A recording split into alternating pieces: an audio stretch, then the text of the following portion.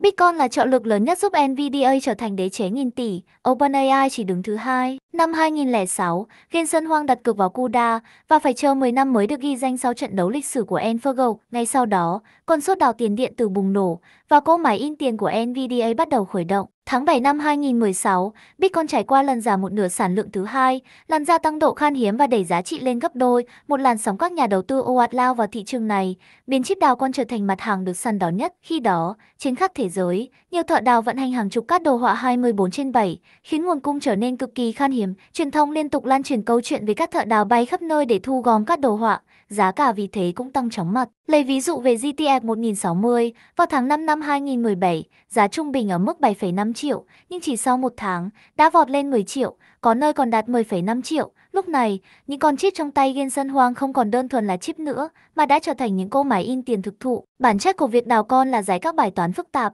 hay còn gọi là bằng chứng công việc, hiểu đơn giản, đó là chứng minh bạn đã giải được bao nhiêu bài toán vi phân, tích phân, CUDA của NVDA đã được phát triển hoàn thiện, không chỉ phục vụ chơi game hay render hình ảnh, mà còn cực kỳ hiệu quả trong tính toán song song, hoàn toàn phù hợp với việc đào con. Gensân Hoang không chỉ nắm bắt cơ hội, mà còn chủ động tiếp thêm dầu vào cơn sốt vàng này để đáp ứng nhu cầu thị trường. NVDA tự tay thiết kế các dòng chip chuyên dụng cho đào con, nhưng chiếc cắt này bị cắt giảm toàn bộ chức năng không cần thiết, chỉ giữ lại khả năng đào con, không thể chơi game. Quan trọng hơn, chúng chỉ được bảo hành chính hãng 90 ngày, trong khi các dòng cắt thông thường có thời gian bảo hành từ 2 đến 3 năm. Lúc này, thợ đào con thì điên cuồng thu gom cát, nhưng game thủ phổ thông lại vô cùng bức xúc vì NVDA dồn toàn bộ sản lượng cho các đào con, nguồn cung cát đồ họa thông thường bị thắt chặt, khiến người dùng phổ thông gần như không thể mua được. Có người đã trực tiếp chất vấn Gensân Hoang về việc làm thế nào để đảm bảo nhu cầu của khách hàng phổ thông. Đáp lại, ông chỉ trả lời một cách mơ hồ rằng sẽ đảm bảo đủ hàng cho người dùng, nhưng chẳng ai cảm thấy được an ủi gì từ câu nói ấy. Điều thú vị hơn nữa là dù việc nào con mang lại doanh thu khổng lồ cho NVDA, nhưng trong báo cáo tài chính, công ty lại không hề nhắc đến nó. NVDA gộp chung doanh thu từ khai thác tiền điện tử với nhu cầu phổ thông trong danh mục trò chơi, khiến việc xác định số tiền thực sự kiếm được từ đào con trở nên bất khả thi. Khi được hỏi về mức tăng trưởng bùng nổ của mảng gaming, Genshin Hoang chỉ hết lời cảm ơn game thủ, như thể những thợ đào chi hàng đống tiền để thu gom các đồ họa chưa bao giờ tồn tại. Nhờ vào làn sóng đào con này, NVDA đã hoàn toàn thoát khỏi giai đoạn khó khăn trước đó. Trong vòng 2 năm, giá trị vốn hóa của công ty tăng hơn 10 lần, trở thành một trong những cái tên sáng giá nhất trong ngành công nghệ.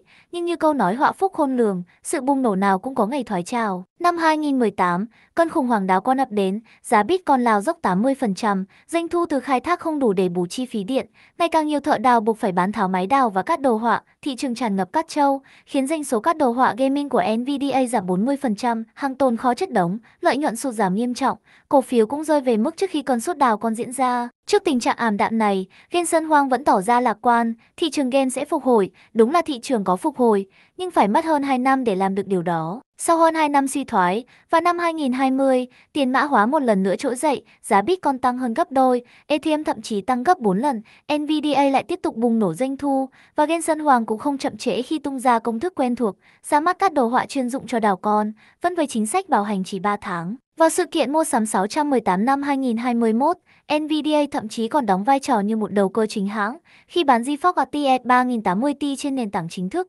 với mức giá cao hơn giá bán lẻ đề xuất 150 đô la Mỹ. Không dừng lại ở đó, Genshin Hoàng tiếp tục cổ vũ ngành khai thác tiền điện tử. Trong một cuộc phỏng vấn, ông tuyên bố rằng đào con sẽ tiếp tục tồn tại vì nó có giá trị riêng và giá trị đó thể hiện rõ ràng nhất ngay trên báo cáo tài chính của chính NVDA.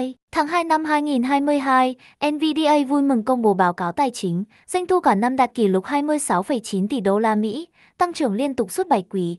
NVDA và TSMC trở thành hai gã khổng lồ lớn nhất trong ngành bán dẫn lúc bấy giờ. Nhưng chỉ 5 tháng sau, một sự kiện quan trọng đã xảy ra, Ethereum hoàn tất quá trình hợp nhất giữa lớp thực thi và lớp đồng thuận, chính thức chuyển sang cơ chế POS. Nói đơn giản, quy tắc của tiền mã hóa đã thay đổi, không còn cần phải tốn công đào con nữa. Ngay lập tức, Doanh thu và lợi nhuận dòng của NVDA sụt giảm mạnh, giá cổ phiếu lao dốc một nửa, thị trường lại ngập tràn các đồ họa cũ từ các thợ đào phá sản.